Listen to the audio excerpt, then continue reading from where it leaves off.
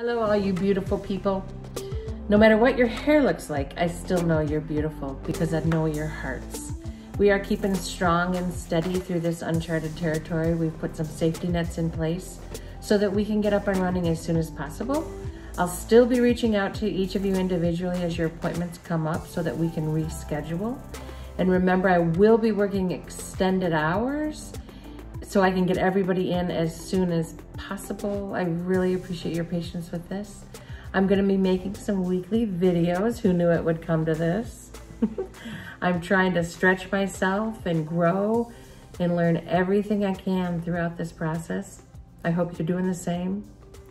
Uh, today we're gonna talk about trimming your own bangs. We have a special guest today. Some of you may have met her before. Hey everybody, I'm back. So, like I said before, some of you may have met Ellie before.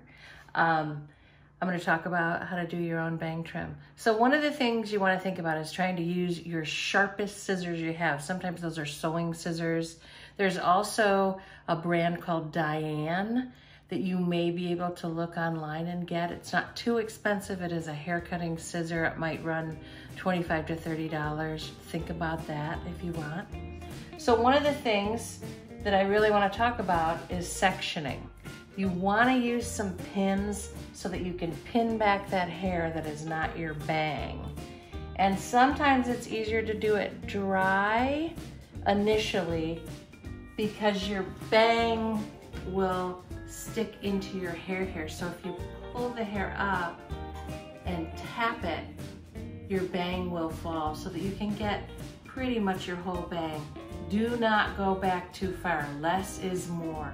So don't take it back an extended amount and try not to take it too far over. I hope that makes sense. So you're gonna wanna use the wide tooth part of your comb so you can get all the hair in there and so that the tension is not too strong, okay? So we wanna pull the hair down, gather it together, pull it in, okay? The cameraman Larry's doing a great job. Take your scissors, do not cut straight across. Cut into the bang with the tips of the scissors. Be careful not to cut your fingers. They can be very sharp. So you can see how I'm just cutting across the bang line. Okay? So I'm cutting into, not straight across. Letting it go. As you let that go, it will create more of a rainbow effect. She's got, Ellie's got a terrible cowlick there, do you see it? But it kind of creates that rainbow effect. Now, the second thing I want you to do is take a midsection here, pull it directly up. Maybe Larry can, do you see that tip right there? It goes up like that.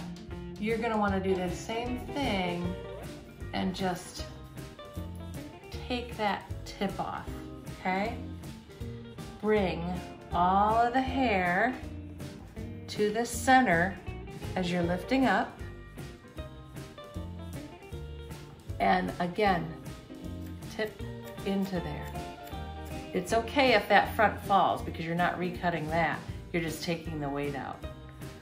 Now Ellie, again with this terrible cowlick, this doesn't look that great, but that is gonna get you a decent bang lay. Good luck with that. Also, I want to let you know that if you have any questions regarding personally uh, your own hair, please email me, text me. I will be answering those as I can. The next video I'm going to make is going to be color, just some color basics.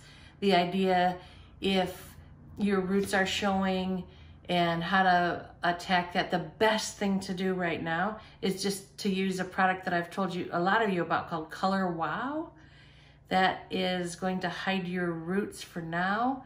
Uh, again, I'm going to be compiling a few videos. The next one will be color. Thank you so much, and hang in there.